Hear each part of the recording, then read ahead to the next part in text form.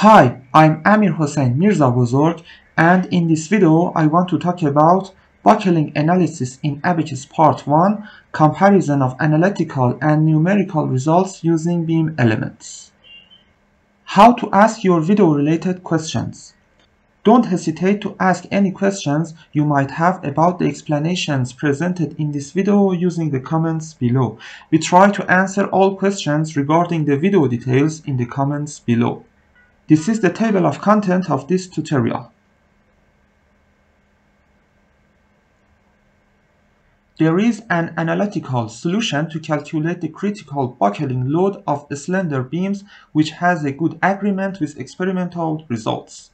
In this tutorial, a simple slender beam under axial compressive load will be modeled using beam elements. There are pinned boundary conditions on both ends of the beam. Finally, the simulation results will be compared to the critical buckling load calculated using analytical solution. Now I want to talk about the definition of the slender beam. I have created a part named beam. It is 3D, deformable, and it is wire. Its height is 1 meter and its radius is 2 centimeters. Now I want to show it in Abaqus. This is the beam, its height is 1 meter and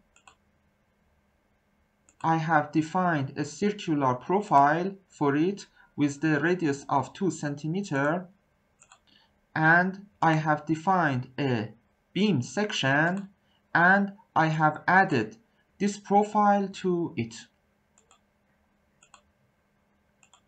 Now I go back to the slides. Now I want to talk about the definition of the material. As buckling analysis is a linear analysis, defining the elastic behavior is enough to conduct the simulation.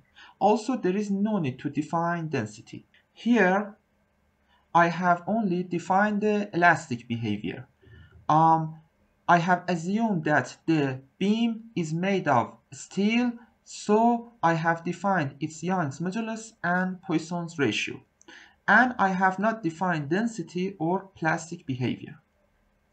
Now I want to talk about the definition of step. To calculate the critical compressive force and buckling mode shapes, the buckle step must be defined.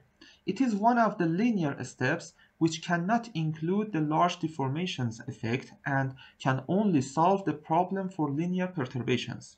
In the results file, the eigenvalues and eigenvectors represent the critical compressive force and mode shape of each buckling mode. Here I want to create step 1 and I have set the procedure type to linear perturbation and I have selected the buckle step. And this is the buckle step. Here we must select between two eigensolvers, Lanczos and subspace. The Lanczos method is generally faster when many eigenmodes are required for a system with many degrees of freedom. However, this method does have some limitations. Here the limitations have been written. And the second eigensolver is subspace. The subspace iteration method may be faster when only a few eigenmodes are needed. Here, I have requested 20 eigenmodes. According to the documentation, if you want to calculate the first 10 eigenmodes, then you must request more than 10 eigenmodes to maintain the accuracy of the calculated first 10 eigenmodes. For example, here I have requested 20 eigenmodes, but the accuracy of the calculation of the first 10 modes is appropriate, okay? And for example, uh, if you want to have the first 20 modes, then you must request, for example, 30 or 40 eigenmodes. Now I want to show you these settings in the Abaqus. Here we have the material definition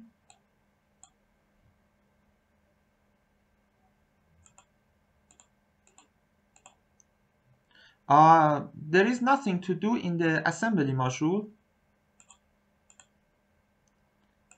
And here we have the buckle step. Uh, there is nothing to do in the other tab. Now I go back to the slides. Now I want to talk about defining axially compressive force. To do the buckling analysis, an axially compressive force with a total value equal to 1 must be applied to the structure. Here, as you can see, I have defined a compressive load and the arrow is downward and its value is minus 1. In the more complex structures, if here we have a distributed surface, then we must apply pressure or we must use coupling constraint. And for example, if you want to use pressure, then the total value of the distributed force must be 1. Now I want to talk about defining boundary conditions for the beam top end. As the force is applied along the y direction, U2 is not restricted for the beam top end. Here, we have the beam top end and uh, we have applied the compressive force here. And this node must not be restricted along the y-axis because uh, the load is applied here. And here, as you can see, U2 is not restricted. And also, UR3 is not restricted because here we have the pinned boundary condition. Now I want to talk about defining boundary conditions for bottom end of the beam. Here we have the bottom end of the beam and uh, I have restricted all of the degree of freedoms instead of UR3 because here we have pinned boundary condition so UR3 must be free.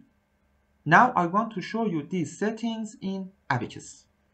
I go to the interaction module uh, there is nothing to do in this module, so I go to the load module. And here I have defined the concentrated force. And I have defined two boundary conditions.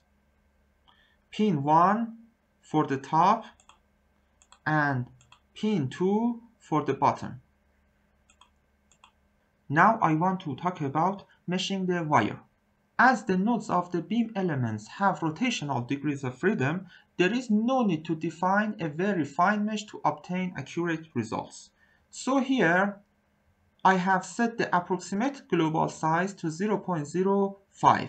So we will have 20 elements along the beam. And here you can see the simulation results and here we have the first buckling mode and the eigenvalue is equal to this value and the unit of this value is Newton and as the total value of the compressive force is equal to 1 Newton so this value is equal to the critical buckling force. Now I go to Abaqus to show you these settings. I go to the mesh module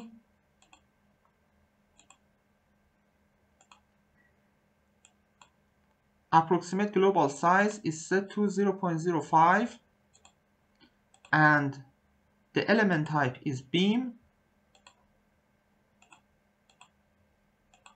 Now I go to the results.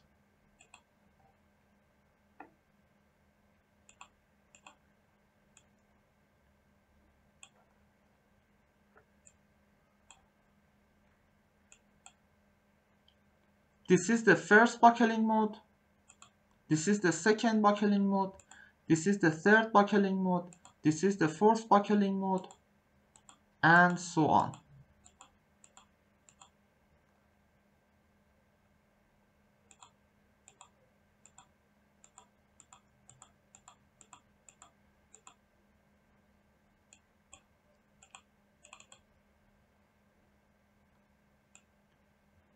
Now we must compare this value is the analytical solution. Now I want to compare the numerical and analytical results. Here we have the analytical solution to calculate the critical buckling force. and here I have calculated I and I have put it in this formula and here we have the Young's modulus and the length of the beam.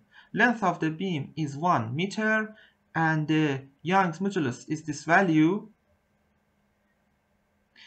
And I have put I here. And the buckling force is this value. And here we have also the numerical value. There is a good agreement between the analytical and numerical results.